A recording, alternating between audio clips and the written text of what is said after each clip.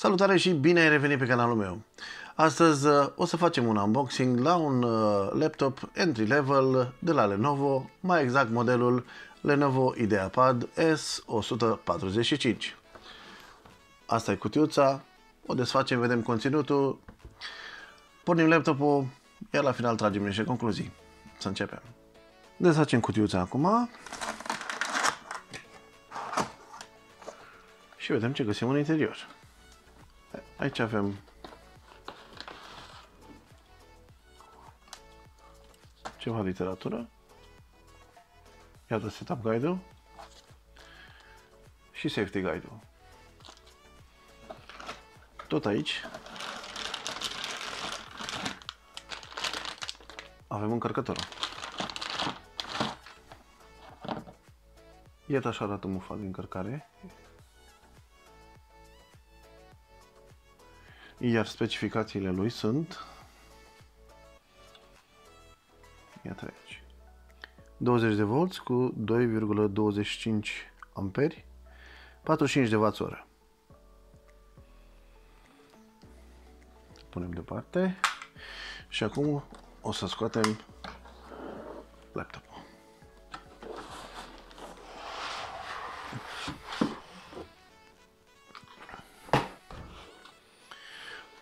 Vine ambalat destul de sănătos, ca să zic așa.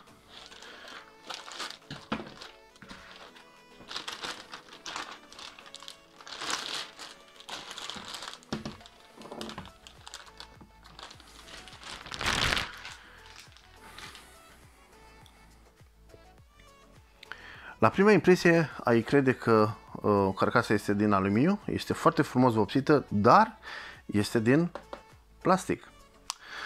Haideți să vedem uh, porturile cu care vine el înzestrat. În partea stângă vom găsi următoarele.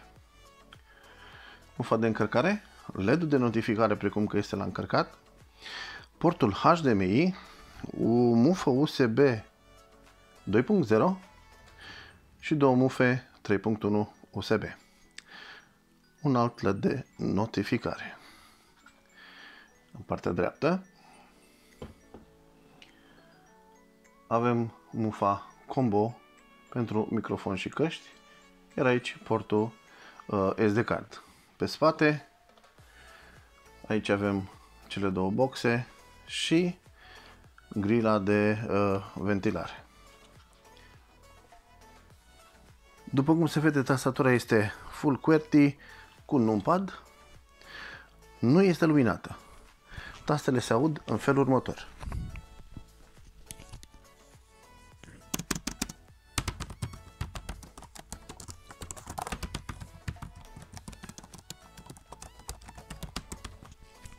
Tastele de la F1 la F12 sunt dublate ca și taste multimedia, adică avem volumul, uh, microfon on-off, avem touchpad on-off, modul avion, camera on-off, lock computer și uh, luminositate. E timpul să-l pornim, să vă arăt cam cum se mișcă, să vă arăt și cum se vede, cum se aude și așa mai departe.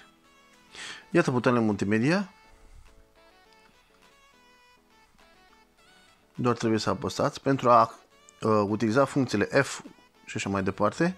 Uh, trebuie să apăsați pe tasta FN și funcția respectivă, dacă aveți nevoie.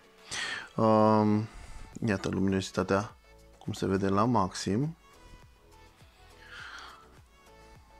și minim.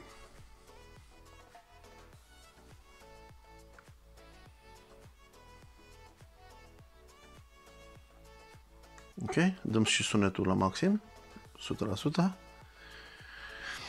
Camera.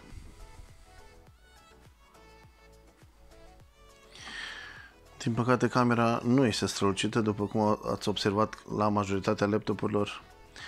Uh, producătorii pun o cameră destul de slabă, cât să-ți faci treaba cu, uh, cu ea pentru un video. Din păcate, camera asta chiar e dezastru. Uh, la 0,3 megapixel mai bine uh, folosiți telefonul pe post de webcam. Am un video făcut pentru cum să faceți lucrul ăsta.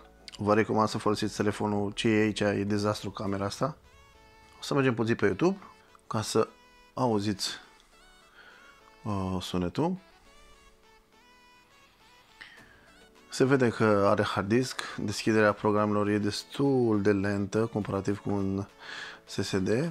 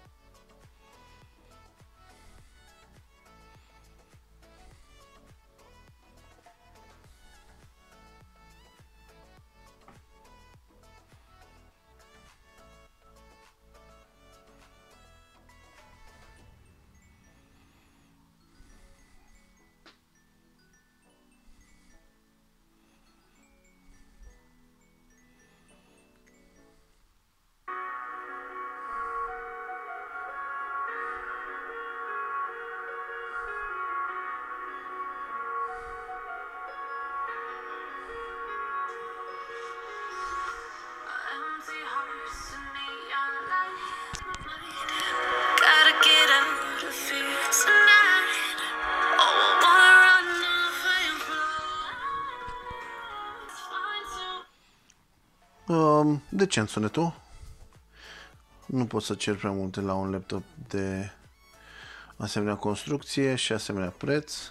Haideți să vă arăt cam cât de repede se deschide Office-ul, de exemplu. Uh, mai ales că acest laptop pentru așa ceva e gândit. Pentru activități de office, școală și cam atât. Eventual un film, o poză, o muzică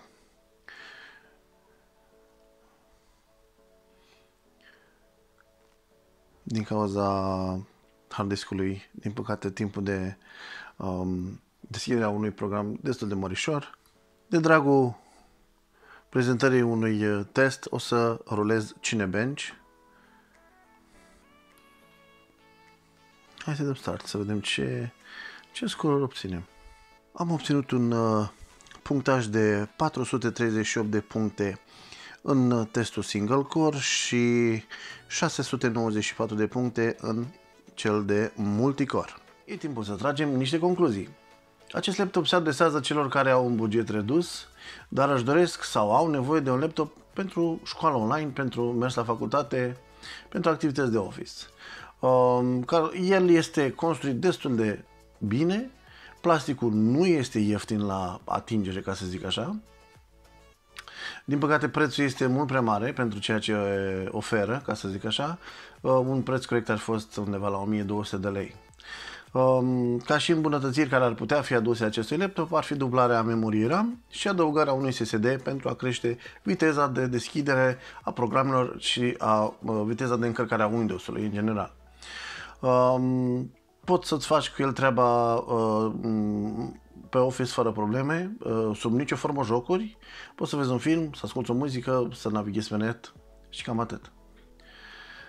Um, prea multe despre el nu mai am de spus și dacă v-a fost util acest video, știți ce vreți de făcut. Dați un like, dați un share, comentariile jos și până data viitoare aveți grijă de voi și să aveți o zi perfectă. La revedere!